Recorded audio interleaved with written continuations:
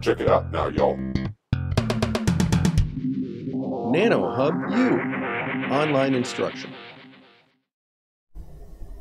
Hello and welcome back to the NanoHub U course, Thermal Energy at the Nanoscale. I'm Tim Fisher from Purdue, and we're in the middle of week three, which is on basic thermal properties, and today we're going to talk about optical phonon specific heat. And just to remind you what specific heat is, it's the, the derivative of the specific internal energy with respect to temperature. And the, the toughest part of, of evaluating something like this is the evaluation of the temperature der derivative of the distribution function, and that's shown at the bottom here. Again, we're going to focus on phonons today, so there's the chemical potential is zero, and that, that simplifies the expression quite a bit.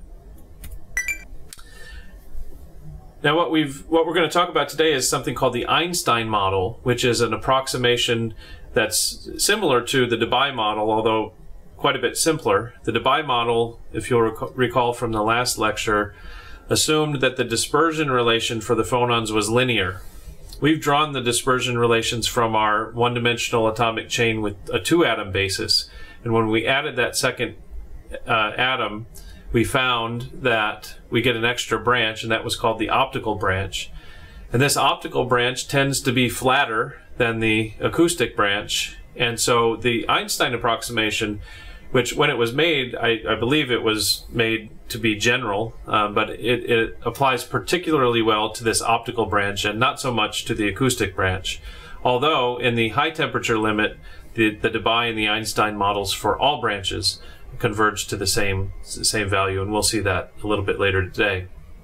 The most important metric here is the Einstein frequency, or, or equivalently the Einstein temperature that's defined. So if we're going to define a constant frequency, all of the phonons are oscillating at one frequency, regardless of their wavelength.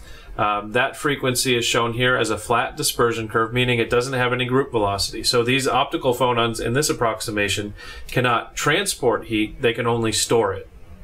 And you might say, well, then what happens to it if it can't if it can't go away? And the answer is that comes that'll come a little bit later in our scattering analysis where the optical phonons will have to scatter with other carriers and those will carry the heat away. One of the nice things about studying optical phonons is it, it gives us an, a chance to an, analyze en energy and specific heat in a different way. Most of the time we take these summations over k space and we convert them to integrals, sometimes integrals over frequency space by using the density of states. And here, we're going to do it a little bit differently. We're going to stay with the core, the, the summation form. And so the uh, extensive internal energy is listed at the top under this particular approximation. So the Einstein frequency is shown omega sub e, and we evaluate the distribution function also for that same energy or frequency, omega sub e. And so the, the summation becomes much easier because these terms, you'll notice, none of the terms depend on the wave vector at all. It's, they're just a const, they're constant frequency terms. And so that summation over k space can be simplified. And that's what we show uh, as we move through this. If we take the temperature derivative to convert internal energy to specific heat, and then we normalize again by volume to make it specific, um, we find the expression at the bottom where now these summations, what we're doing for the k-space summation and the branch summation, that's the p index, we're just summing uh, unity uh, over and over again. So the, the value of one, we're just summing those things. When we do that, you'll notice if I look at, if I sum over k-space, I'm just going to get the number of allowed modes. That was capital N in our nomenclature before. And if I divide that by length to the power d, that's the dimensionality, then that's going to give me the number of modes, which is equivalent to the number of primitive unit cells per unit volume. So that's my unit cell density, eta sub A. That's the first term in the last summation, or in the uh, in the summation underneath CVE here. And then I multiply by all of these other terms, most of which are constant, except for the temperature dependence, because again, h bar omega is a constant. And what we can do lastly is we can make a substitution uh, or we, we can define a variable chi that is like a normalized Einstein energy. It's h bar omega e divided by kBt. So it has a temperature dependence built into it. When we introduce that into our summation term, then we get a fairly neat expression at the bottom where we have a summation over uh, a, a, bunch of terms that end up being constants. Now, there's one caveat I'll add, and that is I could define a different Einstein frequency for each branch. That's the summation over p. Um, and and we'll do that. Uh, we'll we'll kind of keep it general, allowing for that possibility here in most of the analysis that we do. Now the Einstein model for optical phonons is particularly good for very high temperatures. These would be temperatures that are substantially higher than the even the uh, what is already a high temperature. That is the Einstein temperature is generally large because the optical frequencies are fairly high. But if we get to temperatures above that, um, then we can evaluate this for very, very high temperatures.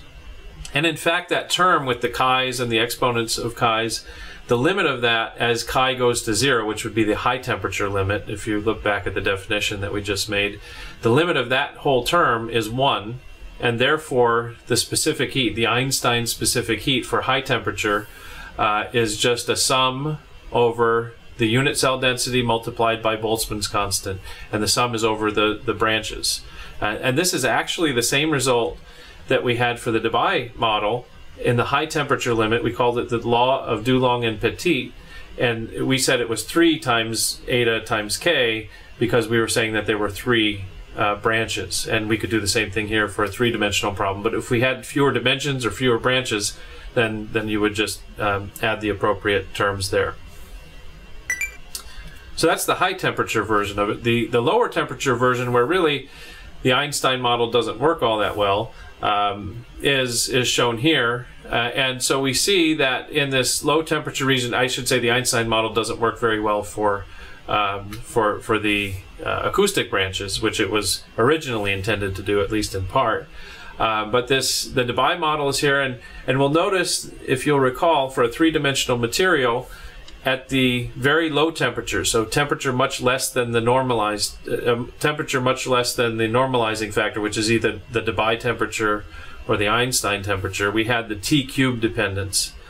But then we talked about that Dulong and Petit asymptote, so the Debye model asymptotes to that, as does the Einstein model. And you'll also notice one other thing. For the Einstein model, uh, for very low temperatures, it's, it's really essentially zero. Well, that's why that that's because at very low temperatures the distribution function is essentially zero because the Einstein frequency is fairly high and and there's not enough thermal energy to populate those states until you get until you reach a certain point at which point you start to the Einstein model starts to grow. So you can kind of think of this region where there's a the large difference for at low temperature between the Einstein and the Debye models. That's where the um, that's actually where the, the, the optical phonons are essentially frozen out. They can't store thermal energy because they're not populated. The last thing I want to do today is to go back a little bit to that to the Debye model and talk about lower dimensions. For the Einstein model, it's pretty simple because we're just summing over um, over different branches. So the number of branches is going to be proportional to the number of dimensions of the problem. And um, so the general model for what I call a, a lowercase d, uppercase d dimension, so that would be 1D or 2D or 3D. The general model looks like this. Uh, it's very nice to cast it in this, this first equation to cast the problem in terms of, of the density of states. So make it a frequency integral. And then the dimensionality of the problem is built into the density of states. And we went through the differences of the density of states in, in the, the various dimensions. Um, and then the summation term will also have a different, you'll have a different number of summation terms, P, um, or summation indices, depending on the dimensionality.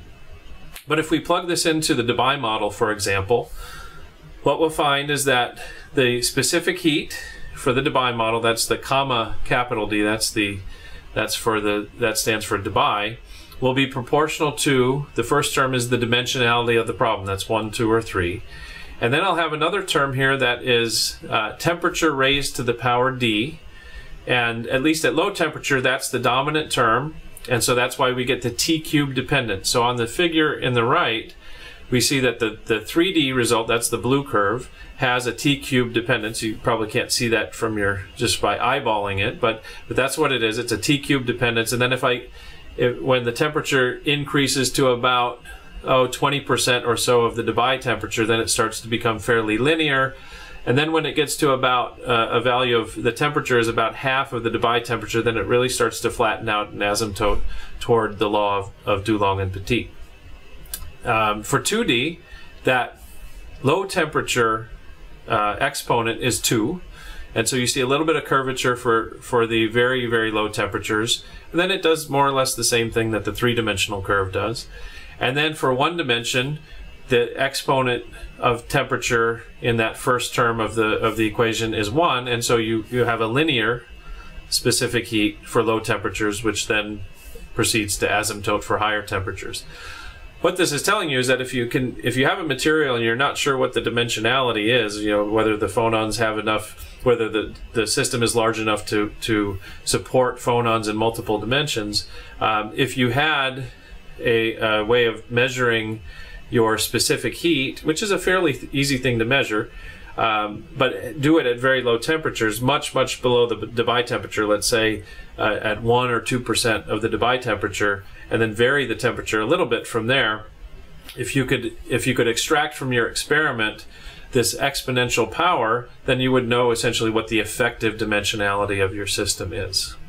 And people did that uh, back in, in you know times before that it was easy to make low dimensional materials, they did notice something funny, for example, about graphite. So graphite is a is a three dimensional material, but it's layered and it's it's uh, the interactions between the layers are fairly weak, and so graphite has a uh, temperature to the power two specific heat dependence even in its bulk form because because the, the phonons are essentially confined to layers to two dimensional layers.